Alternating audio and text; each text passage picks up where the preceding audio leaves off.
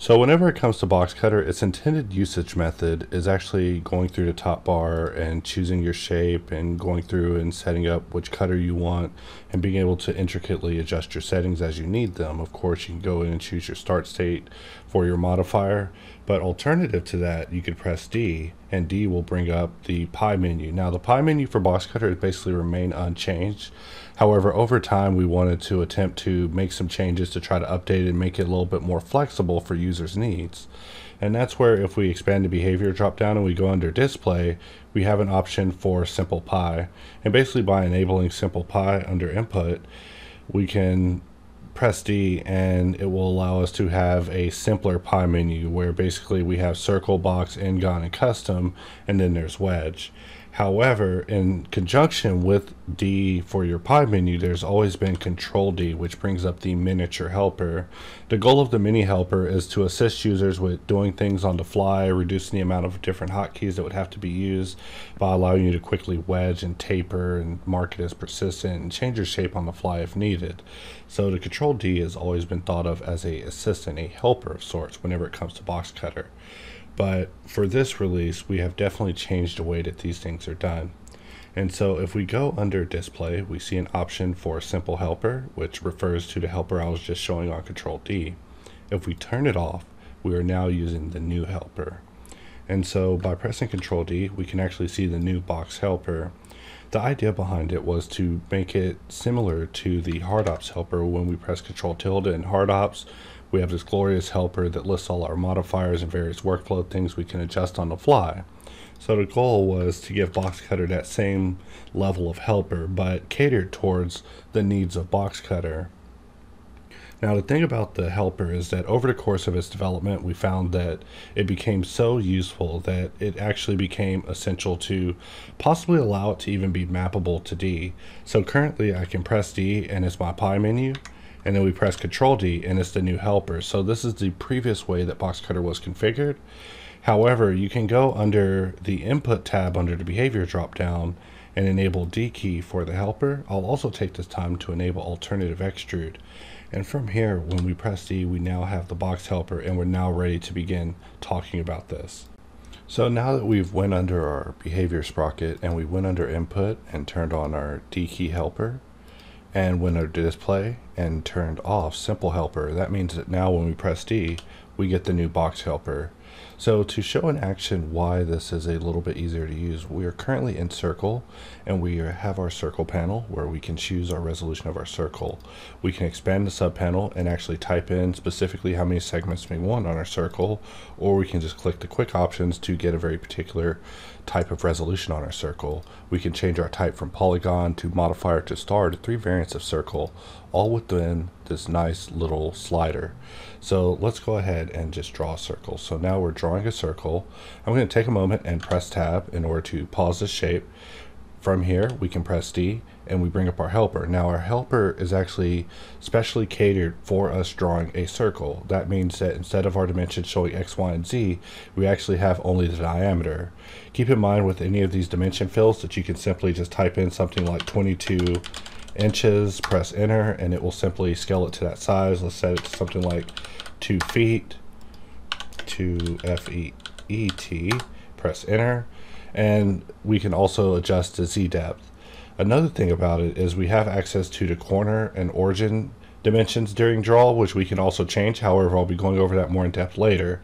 And that's really just the basics of using the mini helper to quickly get in and deal with something like the circle. If we click on bevel, we've now added a bevel to our shape and we can actually move our mouse off to begin adjusting the bevel. If we roll the wheel, we can give this one segment. We can press tab and pause it. From here, press D and bring our helper back up. If we click on the helper to collapse it, as far as the bevel slider goes, we can see that the bevel slider has an option for us to flip the bevel. So if we click on that, we see that we're able to quickly jump to a reverse bevel without any delay or need to press the hotkey. So let's right click, let's just draw a circle. Let's press B to bevel, press tab, press D, click on the reverse bevel button, and there we are quickly just reverse beveling with the circle. So really it's that easy. If you click on the option or the name, or even the expand icon, you can get access to additional options and also to quick prefs that are actually associated with each of the particular prefs that have preset systems attached. So we went through a great deal to give all of our tools a ability to shine. Another thing, for example, is let's press D, switch over to box, and let's just draw a box. We can just draw our box out and we'll press tab to pause it. One of the new features of Box Cutter recently was the ability to turn it into a grid. If we just click on the icon for grid, we see that we have now turned this box into a grid. And because of auto solidify, which is part of box grid, we have a solidify modifier that we're also able to dynamically adjust within the helper, just allowing users to quickly get used to something like box grid. On the side is also wedge, which we're able to click wedge and toggle it off and on. Same thing with taper. We can activate taper and get in and quickly adjust the presets. By giving it one we are able to just quickly remove taper. Whenever it came to requesting this particular menu um, box cutter wasn't built in a fashion for it to be given such a helper. However i did request to at least try and through our attempts we were able to get it to this level. However i can definitely um, tell you that box cutter was not built for this as far as its initial plan. However it's definitely going to become part of its future so we're talking about how we're able to deal with the various modifiers on the side, toggle them off and on, just like that. These modifiers are referred to as like shape modifiers, so they're kind of exclusive to each particular shape.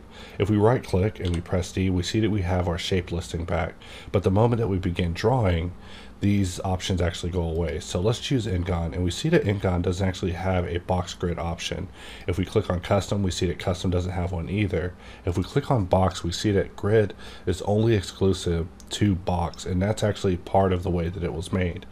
Uh, if we click on circle, we see that circle has a variant of star and that's just how users are able to just quickly get around these things without having to go through any other supplemental submenus or special panels of box cutter. So really in action, this thing is just poetry. So let's look at Ngon. So right here we have Ngon activated. A popular question with users is how do I draw an Ngon line? Well, there's an option right here where you can just simply just turn an Ngon into a line, meaning that whenever you draw, you are actually drawing an Ngon line and what this means is that if we were to right click to pause by ending our last point, we can press D and we have an option for solidification which can be adjusted. We can also begin just control scrolling over the extrude to give this some extrusion or just begin clicking and dragging it in order to give it some extrusion. So the helper, even in its hack state, of the way that we put it together allows a degree of versatility that box cutters never had with the previous helper. In fact, the way that it was before, it was getting really stuffed with options. There wasn't really a lot of room we could go through. Another area I want to talk about is radial array. So if we um, just use our dots and we just jump off to center dot and we just perform an extrusion and pause, we can press D and let's just click on array. So now we have an array. And if we move the mouse, we're able to adjust this array even though we're also able to do it with the helper still up. But we'll press tab to just pause this array and we'll press the helper in which we have options to choose which axis we're actually arraying on as well as the distance. And you can even control scroll over the count in order to adjust the count on the fly or just click and drag to adjust your count but the best part of it is that this circular icon allows you to quickly jump into a radial array. And so once you're in this, you see that the rest of the options have changed, allowing you to adjust your distance and count quickly on the fly. And this is actually probably the best way that we've created to approach radial array compared to pressing V and V inside of box inside of box cutter. And really, with this, we are just scratching the tip of the iceberg. If we press D, we can jump over to Ngon. Ngon has multiple variants. For example, we talked about turning it into a line, but we also have the ability to turn it into a lasso. So just by clicking lasso, you're able to just turn this into a lasso. It'll let you know that you're a lasso, meaning that if we're in orthographic view and we just begin clicking and dragging, we're drawing a lasso cut. But the best part is that if you go over and you toggle the line behavior, you can also draw an lasso cyclic shape. And this is something that we want accessible to all users off the bat. These shouldn't be hidden tips. This is something that we feel should be something that any user who takes out the box should be able to get acquainted with. So over time, as we gauge the approval of the mini helper, it more than likely will either become our default or we'll make adjustments to either shrink it down or grow it out to its final plan and final form to actually make it the thing that we envisioned it to be. But really, this was the best stopping point for this V1 to begin introducing it to users because so much work has gone into this and it's been really months into planning. But I'll be doing a supplemental video going over this more in depth later and the uh, ideology behind each and every one of these sliders. However, with that, we'll move on to the next area.